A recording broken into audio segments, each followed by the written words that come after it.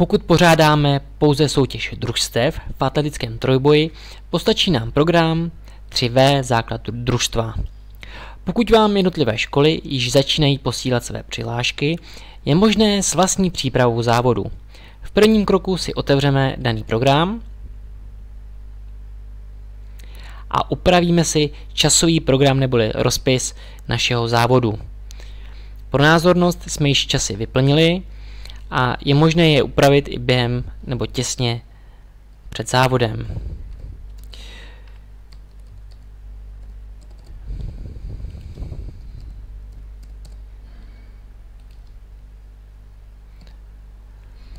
Pokud budeme mít, budeme mít vyplněné jednotlivé časy, napíšeme místo konání závodu, v našem případě Turnov, samozřejmě nesmí chybět datum závodu a případné upřesnění fáze trojboje, například okresní nebo krajské kolo. Dále je nutné předem nastavit, jakým způsobem budou měřeny časy běžeckých disciplín, zda elektronicky nebo ručně. V našem případě jak běh na 50 metrů, tak i štafeta 4x60 bude měřena elektronicky. Takto upravený časový rozpis je možný, možný pomocí tohoto tlačíta vytisknout a umístit na nástěnku. Následně se vrátíme zpět do menu a můžeme začít s vlastním zápisem startovek. K tomu nám poslouží tento odkaz. Pro názornost zde již máme vyplněné, vyplněná některá jména, ke kterým budeme postupně kopírovat další. V našem případě nám přišla přihláška do soutěže družstev ze ZŠ naše. Jednoduchým způsobem skopírujeme veškeré údaje z přihlášky do daných tabulek ve startovních listinách. Pozor, abyste dívky kopírovali do tabulek dívek. A stejně tak, abyste chlapce kopírovali do tabulky chlapců. Takto budete postupovat i s dalšími přihlášenými školami, takže jednotlivá jména nám budou přibývat zde, zde na řádcích. Stejným způsobem dopíšeme i štafetu, kterou budou tvořit jména všech čtyř účastníků našeho závodu. Jména v tomto případě jsou smyšlená a neodpovídají jménému seznamu na přihlášce.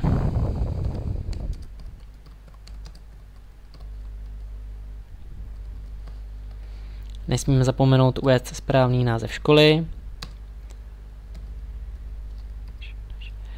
A znovu podle počtu startujících škol nám budou na další řádky přibývat další přihlášené štafety.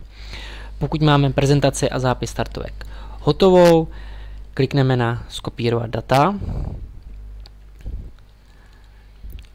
Vrátíme se o krok zpět do startovních listin,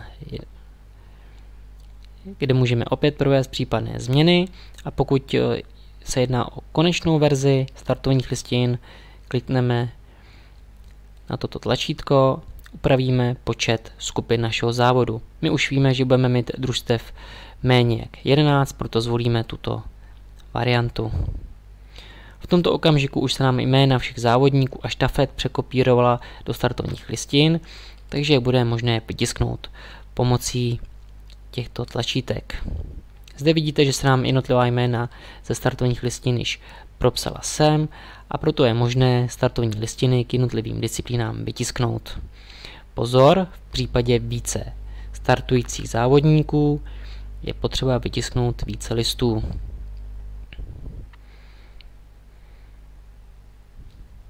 Takto předsvakneme startovní listiny na kategorii dívek, takto na disciplínu míček. Stejným způsobem se potom tisknou i startovní listiny běhu. V našem případě budeme mít k dispozici 6 drah, Najdeme si skupinu 1, opět vidíme propsaná jména z přihlášek. Stejným způsobem vytiskneme také dívky. Pokud máme být vytištěny, vrátíme se zpět do hlavního menu a zbývá nám vytisknout poslední startovky, kterými jsou štafety. Znovu vidíme, že se nám propsala jednotlivá jména. Pokud máme takto všechny startovní listiny vytištěny, nezbývá nic jiného, než se připravit na zápis výsledků. K tomu nám poslouží tlačítko závod. Znovu vidíme, že se nám sem propsala jednotlivá jména z přihlášek a do připravených sloupců budeme zapisovat výsledky disciplín, které se k nám postupně vracejí ze závodního oválu. Jako první k nám dorazily výsledky závodu na 50 metrů.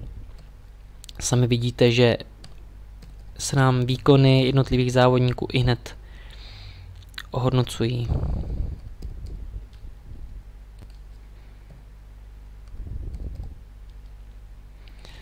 Stejně budeme postupovat i v kategorii chlapců a u všech dalších disciplín.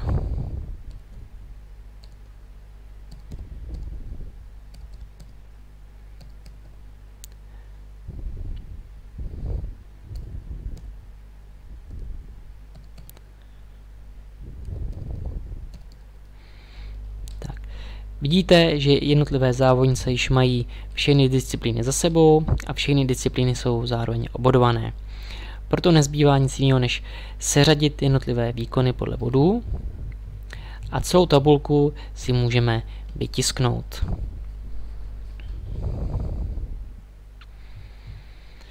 Pokud se nám závod blíží ke svému konci a už je na program pouze štafeta, předsvakneme do, štaf, do výsledkového, do výsledkové tabulky štafet, kde rovněž zaneseme dosažené výkony, které se nám, které se nám rovněž obodují. Pokud máme štafety úspěšně za sebou a výsledky uzavřeny, můžeme kliknout na seřadit body a znovu máme výsledky vyhodnoceny a seřazeny podle dosažených bodů.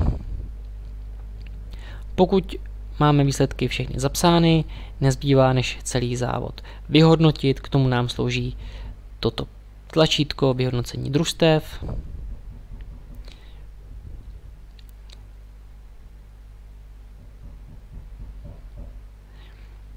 Kde klikneme na tlačítko seřadit školy a v tomto sloupci vidíme konečné výsledky. Na prvním místě našeho závodu se umístila základní škola naše s tímto ziskem a druhá skončila se Vleče Turnov s tímto bodovým ziskem. Sloupec vlevo slouží pouze ke kontrolním součtům závodu.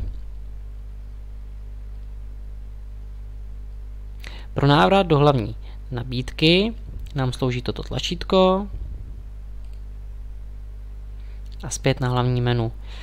Výsledky celého závodu je samozřejmě možné si vytisknout přes tiskovou sestavu, kterou naleznete pod tímto odkazem.